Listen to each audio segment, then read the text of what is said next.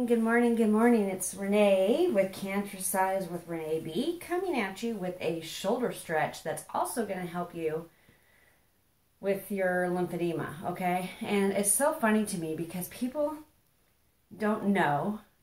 And even if you're wearing my, even if I'm wearing my sleeve, they don't get it. But Saturday at the store sale, I was working, I was volunteering.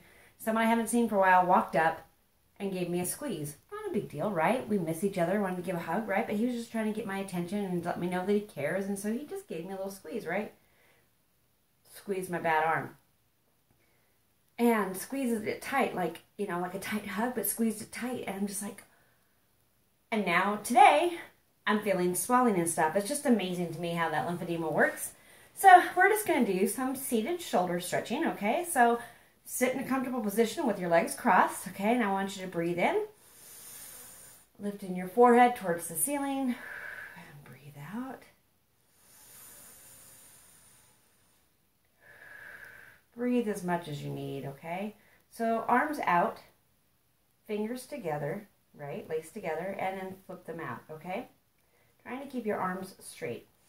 Now those shoulders need to stay relaxed. And you're going to breathe up. A little bit of an arch in your back.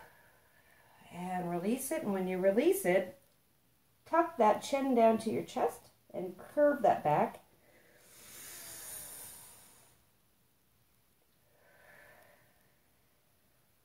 One more. And release. And all the way up. Again, reset those shoulders. Make sure they're relaxed and not up in your ears. And now we're going to breathe and lean over. Stay here for a breath.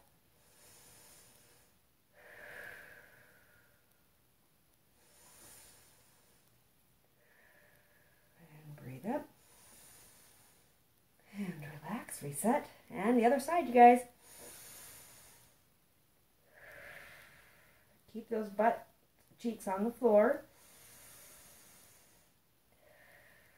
And come to center. Lower it out. Right? Now hands slightly behind. And I want you to breathe up.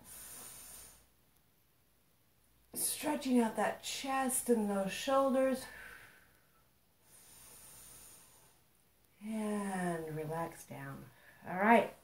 Let me know if you guys try it and what you think, but it's a really good shoulder stretch and chest, and it's really helping my lymphedema that was activated.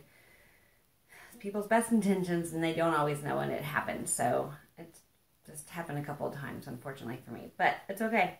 It is what it is, and I just work it out, and it'll go away. So let me know what you guys think, if that was a good stretch for you or not. Um, if you're able to do it, you should be able to unless you're like super fresh out of your reconstruction um, mastectomy, then it might be hard. So anyway, what are you guys doing? You're drinking your water, yes. Talking to your doctor, listening to your body, and most of all, you're remembering what? You are stronger. Have a great day. Bye.